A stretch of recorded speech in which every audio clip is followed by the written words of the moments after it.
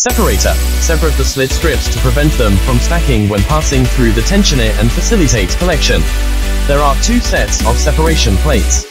The separation disc shaft can be moved out from the operating side for easy replacement and cleaning. Tension station. It consists of side plate arch, upper gantry, lower pad, upper pad, and oil cylinder. The wool felt can be fixed on the upper and lower pads. The strip passes between the upper and lower pads, and the pads are pressed to generate tension. The upper pad is driven synchronously by two oil cylinders.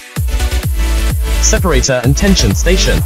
Position the steel strip and apply uniform tension to each steel strip for rewinding. The amount of tension generated determines the tightness of the winding.